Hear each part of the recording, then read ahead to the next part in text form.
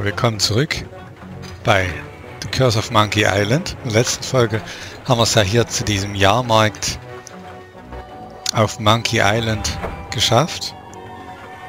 Und heute wollen wir versuchen, LeChucks finstere Pläne zu durchkreuzen und Elaine wieder zu befreien. Äh, deswegen fahren wir jetzt hier mit der Achterbahn, beziehungsweise mit der Geisterbahn.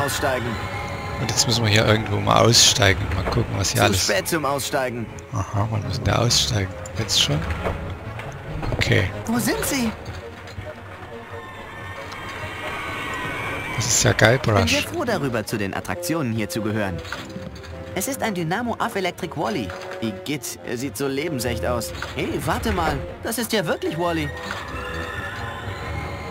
Du kannst auf mich zählen, Wally. Sobald ich LeChuck besiegt, Elaine gerettet und alle Affen freigelassen habe und auf dem Freibeuterkarussell gefahren bin, komme ich wieder und befreie dich.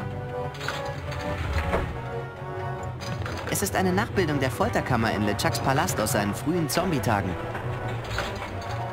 Es ist sehr lebensecht. Ich meine, todesecht.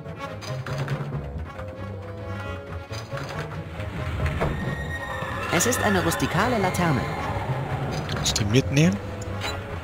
Ah. Flasche mit Öl. Es ist verdammt heiß. so. Oh.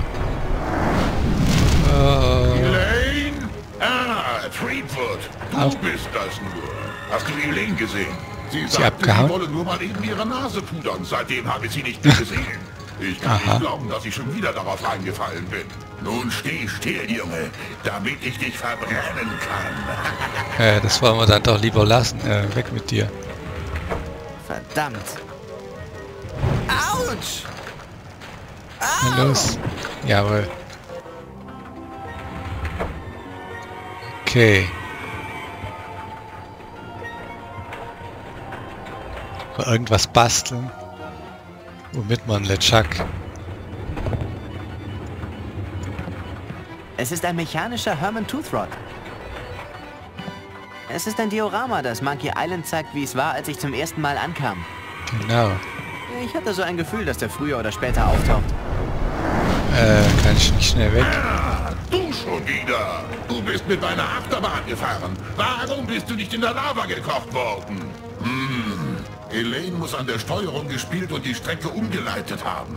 Ah, sie wird noch mein Tod sein. Verflucht nochmal, ich kann nicht anders, als das Kind zu lieben. Friss den Flammentod, Threepwood! Äh, nein. Schnell weg. Na los, spring. Autsch! Spring. Au!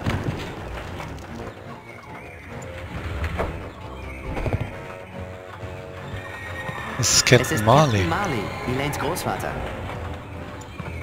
Es ist Rep Scallion, der vergessliche Gastwirt der Würstchenbude. Genau, so sah der zu Lebzeiten aus. Und das es ist doch der Trunkenbold. Senior, wie er zu Lebzeiten war. Es ist Rum Rogers Senior, wie er zu Lebzeiten war. Umfass. Es ist ein ziemlich großes Rumfass. Oh, haben wir ein Rumfass eingesteckt. Was ist hier sonst noch? Oh, na, der Chuck. Dann schnell wieder weg. Oh nein, es ist LeChuck. Hi, Threepwood. Ich bin es, dein schlimmster Albtraum. Wenn ich mit dir fertig bin, wirst du es noch bereuen, einen Fuß auf Monkey Island gesetzt zu haben. Äh, weg da. Autsch! Na, Spring. Au!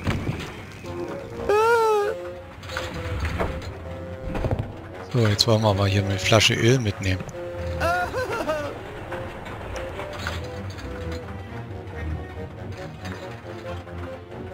Gucken wir, ob hier noch irgendwas... Hm. Und wieder rein. Jetzt gucken wir uns hier mal um. Was es hier auf sich hat.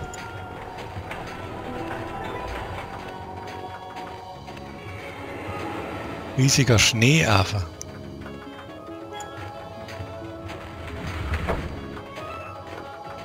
Aha. Den kennen wir noch nicht ist der schlimmste Albtraum anderen. Seemanns. Der riesige Yeti. Monkey Island Teil. Nein. Hm, nein. Nein. Gut, na gut, dann geht's hier weiter? Nee. Na dann fahren wir weiter. Hier ist noch eine Schiene, ne?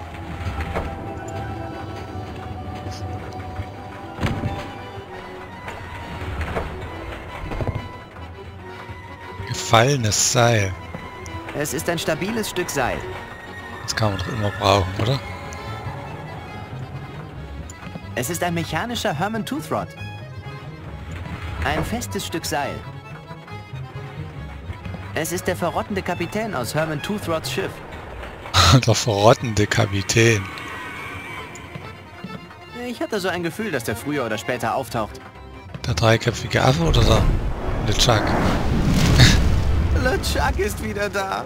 Ich werde dich durch diese Achterbahn verfolgen, bis du mein untoter Sklave bist, Streetwood. Äh, ja. Weg da. Autsch! So, jetzt haben wir ja ein Rumfass. Ich kann gerade nicht auf mein Inventar zugreifen. Da wollen wir doch mal was basteln. Zu spät zum Aussteigen. Na gut, dann beim nächsten Mal. Dann steigen wir hier nochmal aus. Gefallenes Seil. Es ist mit Öl vollgesaugt und wahrscheinlich leicht entflammbar. Aha. Cool. Jetzt haben wir eine Art explosives Rumfass. Rumfass mit einem ölgetränkten Stück Seil.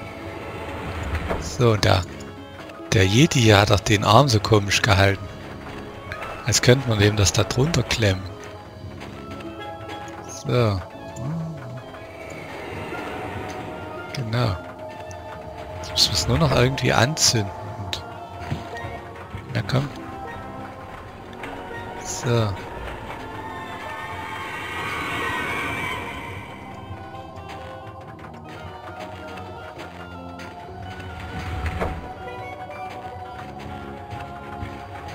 Es ist ein Stück Seil, das in Öl getränkt wurde. Hm, nein. Nein. Kann ich mit dem Seil sprechen? Kommt. Da kommt LeChuck vielleicht. Kann der es uns ja anzünden? Die Lache.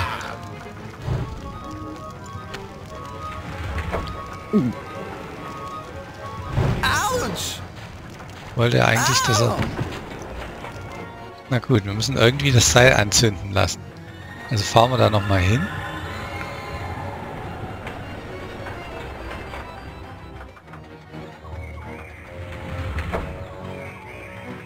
Sehen, ob wir das schaffen.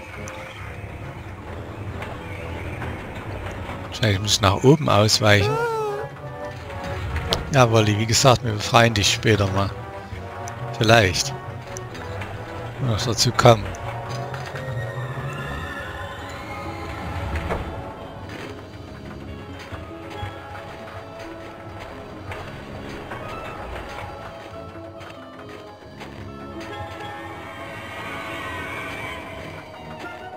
Mit dem sprechen. Nein. Ich glaube, der LeChuck kommt nur, wenn wir unten sind. Und versuche ich mal nach oben auszuweichen. Sehen, ob das vielleicht was bringt. Ich lasse mal noch eine Bahn durch. Wenn da LeChuck nicht kommt, muss ich mich hier unten hinstellen.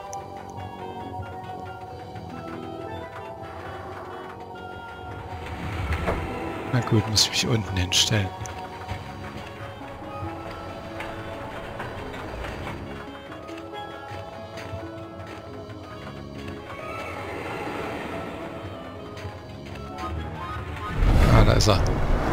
So, jetzt aber schnell weg hier. Mist, da kommt er. Ei, und ich werde dich verfolgen, solange es nötig ist, aus dir einen Untoten zu machen. Ein riesiger Schneeaffe. Verdammt. Wieder nicht geklappt. Autsch! Au!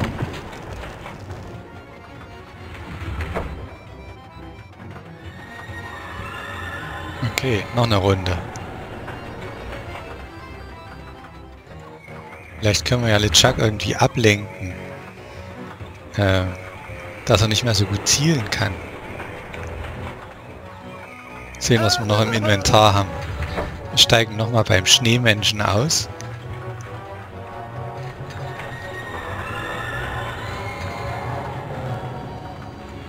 Ja, dann gucken wir mal. So, jetzt habe ich Öl. Wir es einfach mit Pfeffermühle, oder?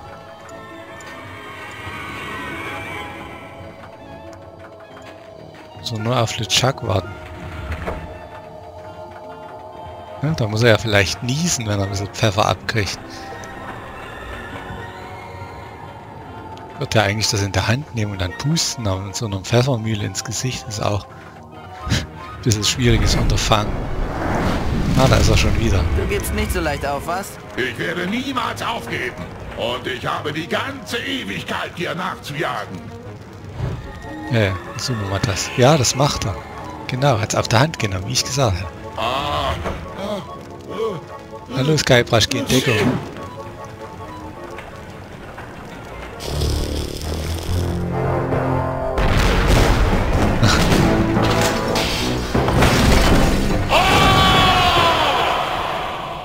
Und das war's zum dritten Mal für LeChuck.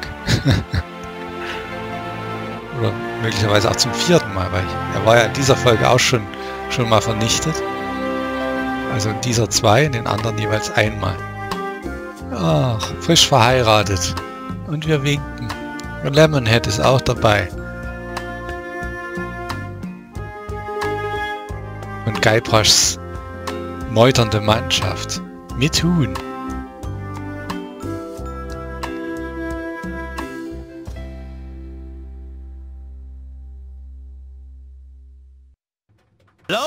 Sterblicher! Aber vergiss nicht deinen Erzrachegott Murray. Merke dir meine Worte. Ich werde zurückkehren, um dich zu verfolgen. Hörst du mich? Ich werde zurückkehren. Okay. Das klingt doch jetzt sehr nach Teil 4. Das ist so unfair. Gut, also, das war der Fluch von Monkey Island, der dritte Teil dieser Reihe. Und es gibt bisher noch, sagen wir mal, zwei weitere Teile. Monkey Island 4 war dann der letzte, der von LucasArts bzw. Lucasfilm Games vorher äh, produziert worden ist bzw. umgesetzt und dann wurde beschlossen, auch Adventures sind doof, die verkaufen sich nicht, wir machen jetzt nur noch äh, Star Wars Spiele, die jetzt auch nicht so besonders waren, die sie in letzter Zeit gemacht hatten und ja, dann irgendwann haben sie dicht gemacht. Es war eine schöne Zeit mit den Adventures früher. Heutzutage nur noch Nischendasein so Adventures. Aber ich habe sie immer gern gespielt. Lassen wir mal den Abspann laufen und gucken mal, ob noch ein äh, weiterer Hinweis auf Teil 4 kommt oder was auch immer. Schauen wir mal. Ich sage aber schon mal jetzt Tschüss. Bis zum nächsten Mal bei einem anderen Spiel. Vielleicht mal wieder was Aktuelleres. Euer Astronier. Macht's gut.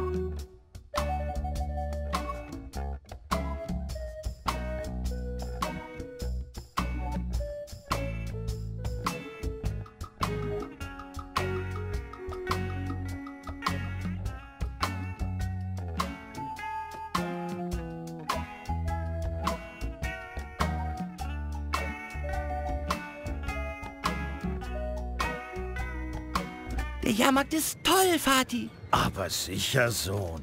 Aber weißt du, es wird erzählt, dass der Mann, der ihn gebaut hat, hier begraben ist. Und man sagt, dass sein gefrorener Körper noch heute irgendwo in den Tunnels unter dem Vergnügungspark liegt. Okay. Also, soweit für Monkey Island 3. Ich sag Tschüss, bis zum nächsten Mal. Nochmal richtig, euer Astron hier. Macht's gut.